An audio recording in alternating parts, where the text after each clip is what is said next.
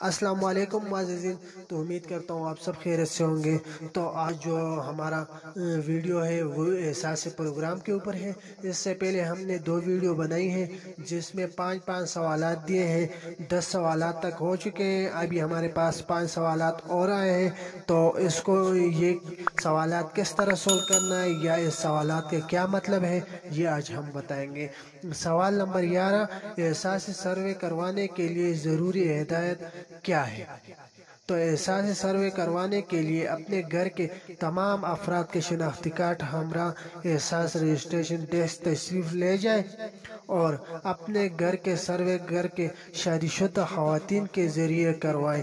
کیونکہ احساس کفالت پروگرام میں گھر کے شادی شدہ خواتین کو ہی شامل کیا جاتا ہے۔ سوال نمبر بارہ ہے کہ احساس سروے کروانے کے بعد اگلا مرحلہ کیا ہے؟ تو احساس افراد جنہوں نے اپنا سروے کروا لیا ہے، ان کا ڈیٹا کے جان پڑتال کے لیے کچھ ماہ کی وقت درکار ہوتا ہے۔ لہٰذا ان کو انتظار کرنا پڑتا ہے جب تک کہ خاتمی جواب موصول نہ ہو۔ جن لوگوں نے اہل ہی میں رجسٹریشن کروائی ہے، ان کو خاتمی جواب اکتوبر کے آخر میں دیا جائے گا۔ لہٰذا ایسے افراد اپنی اہلیت تیس اکتوبر کے بعد کر سکتے ہیں۔ سوال نمبر تیرہ۔ احساس ایمرجنسی کیش اور احساس کفالت میں کیا فرق ہے؟ کورونا وبا کی دوران عوام کے ریلیف فراہم کرنے کے لیے احساس ایمرجنسی کیش پروگرام شروع کیا گیا تھا، جس کے مقصد ایسے افراد کو امداد فراہم کرنا تھا جو کرونا وبا کی وجہ سے بے روزگار ہو چکے ہوں۔ احساس ایمرجنسی کے صرف ایک مرتبہ لے لیا ہے، شروع کیا جاتا، جانے کے والے ایمرجنسی پروگرام تھا۔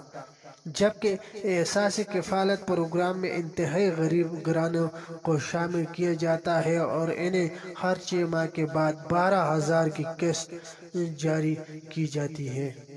سوال نمبر چودہ ہے کہ کیا معذور افراد احساس پروگرام میں شامل ہو سکتے ہیں؟ احساس پالیسی کے تحت تمام معذور افراد کو کفالت پروگرام کے لیے اہل ٹھہرا گیا ہے۔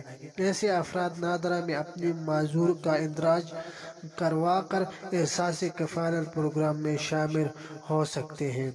اگر آپ اپنی معذور کا اندراج کروا چکے ہیں، تو ویب پروٹر کے ذریعے اپنی امداد کی معلومات لے سکتے ہیں۔ سوال نمبر پندرہ ہے کہ میں معذور نہیں ہوں، اس کی باوجود احساس ویب پروٹر پر معذور، معذوری کا اندراج نادرہ میں کروانے کو کہا جا رہا ہے۔ اب میں کیا کروں؟ تو اس کا جواب یہ ہے کہ احساس افراد جو معذور نہیں ہیں، لیکن سرور ٹیم کے غلط اندراج کی وجہ سے ان کو معذور کا میسج آ رہا ہے۔ ان ان سے گزارش ہے کہ احساس رجسٹریشن مرکز پر جا کر اپنی معلومات کے درستگی کروائیں۔ تو یہ وہ پندرہ سوال ہیں جو جتنے بھی سوال آئیں گے، ان کے بعد ہم ویڈیو آپ تک پہنچائیں گے۔